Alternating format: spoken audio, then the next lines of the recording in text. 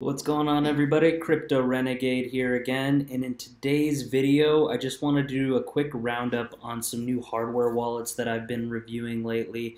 Um, there's a lot of new hardware wallets coming to the market all the time and I tend to do a review of all of them that come to my attention and then I can sort of filter them out and, and judge how different or unique or secure they are and so on and so forth. So uh, in today's video we're going to look at the Sugi uh, NFC wallet card. Now, the reason I chose to do kind of a first look at this card is I did reach out to the founders. Uh, they are going to be sending me an actual uh, hardware wallet to review. Um, so stay tuned for that video when that comes out. But I wanted to kind of give a first look or an overview of this wallet because this is actually one of the first NFC compatible uh, hardware wallets that I've seen. Um, you know, there have been other credit cards that have been similar in form factor because this is, as you can see behind me on the screen, in the shape of a credit card or a debit card, uh, but it is totally chip protected and uh, completely NFC compatible. So any modern uh, smartphone, iPhone 6 or up, Android 7 or up, um, will be able to use this type of hardware wallet. So I'm going to give you kind of a quick overview of what this is and kind of what makes it different.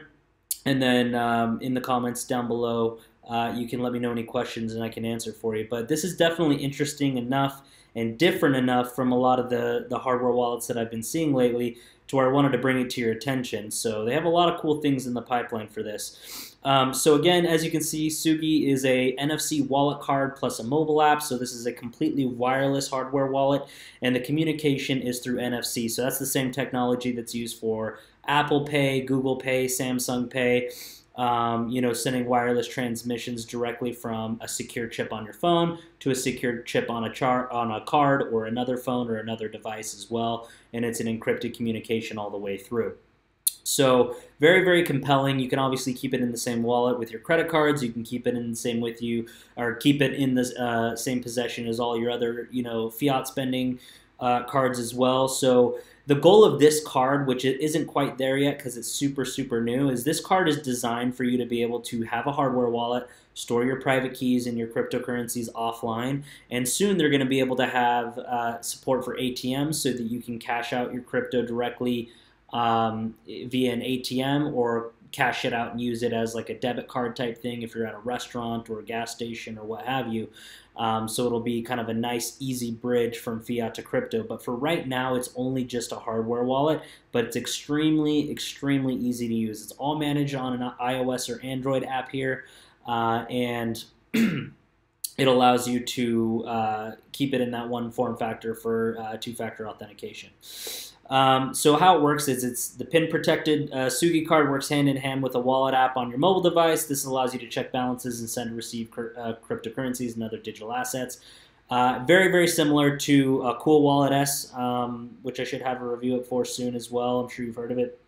That one communicates via Bluetooth, but it also is the same size and form factor as a credit card. Uh, again, this is different because it is an NFC communication method, so there are no uh, Bluetooth connections or Wi-Fi connections or anything like that. This has to be in proximity uh, and paired directly with your NFC on your device. So, for instance, if somebody else has an iPhone that has NFC on it and your card is there, it won't work. You can't skim anything. It is secure because it has to be uh, uh, uh, secured and paired directly to your device as well. So, very very interesting here. So um, you know, it has all the all the basic coins: your Bitcoin, Ethereum, Bitcoin Cash, Litecoin, Ripple, and all ERC20 tokens.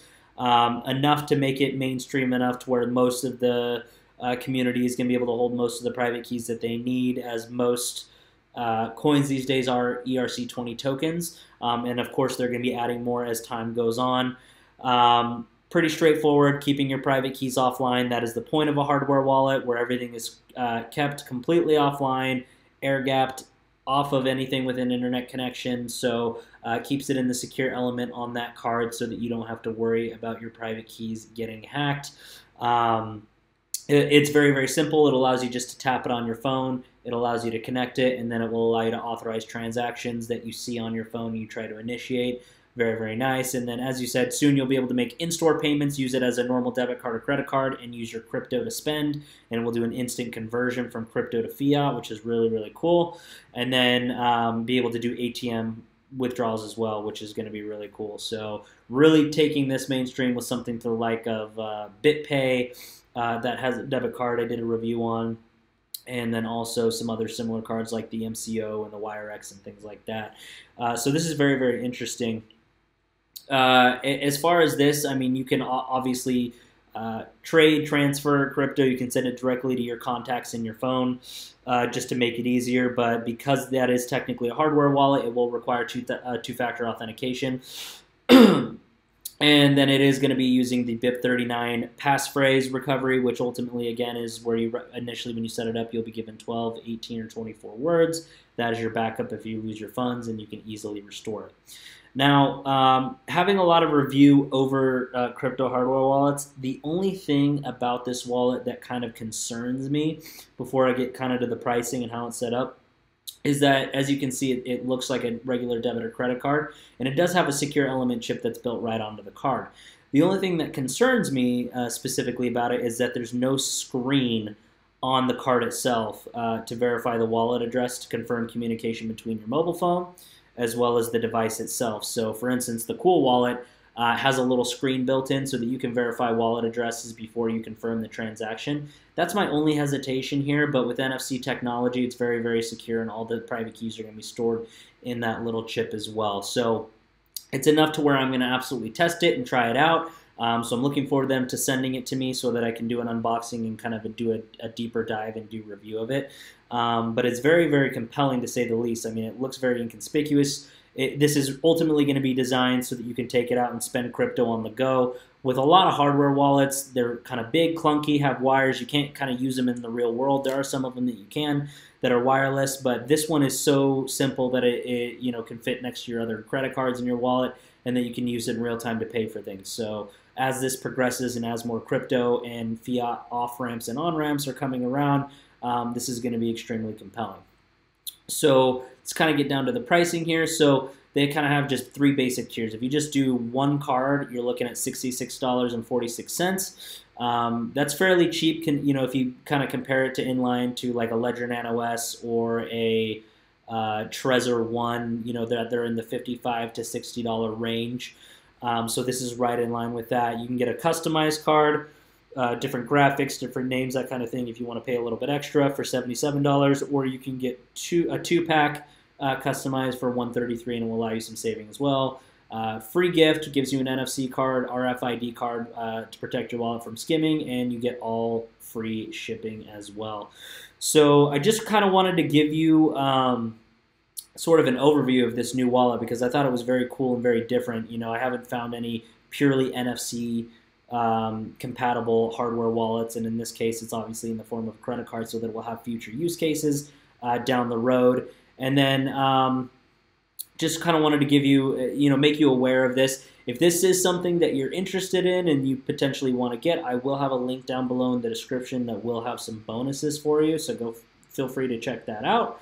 Um, but really, just wanted to kind of give you my my kind of first look of this uh, hardware wallet that not a lot of people know about. This is fairly new, um, but I'm very looking forward to testing it. Um, and they're going to be having a lot more third-party wallet integ- integrations as well. As you can see, it's compatible with Infinito Wallet.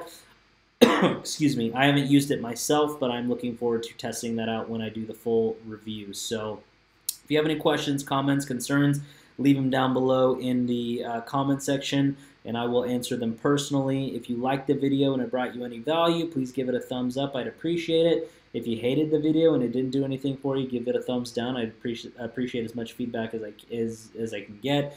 And then also, I apologize kind of for uh, not having uh, my voice and my and my uh, um, I have a cold that I'm recovering from. I'm sorry. I'm just kind of at a loss for words. So I haven't done a video in a while. So I'm sorry. I'm just getting over an illness. Um, but I did want to kind of share this with you because it does look compelling enough and different enough from a lot of the other cards. So stay tuned for the next video. I have some other products and services that are coming out that I'm going to do some uh, looks at and reviews of, and then we'll go from there.